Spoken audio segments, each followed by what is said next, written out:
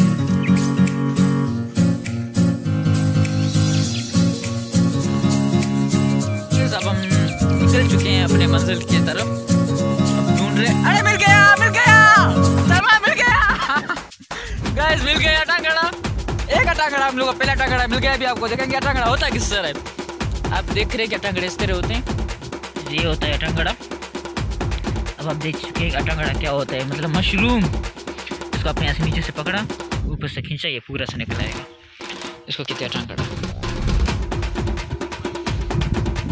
एक दूसरा भी मिल चुका है हमें छोटा सा नया नया भी बन रहा है। इसको नहीं कर ले यार। कर ले जूम यार। चुके हैं कि हमारा पहला मिशन कामयाब हो गया। और अटांगड़ा में मिल चुके हैं।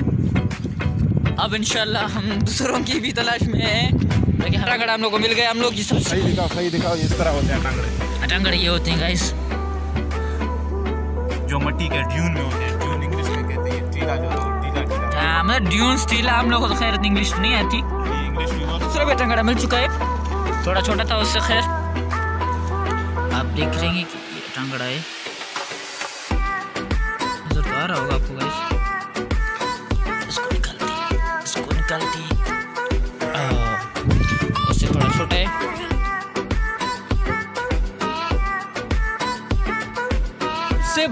भी हम लोग को मिला है, लेकिन मसला गैस ये है कि हमारे पास टाइम बिल्कुल कम है और रात होने को आ रही है। हम कुछ आपको ज़्यादा नहीं दिखा सकते। बस क्या करें, मजबूरी है हमारी।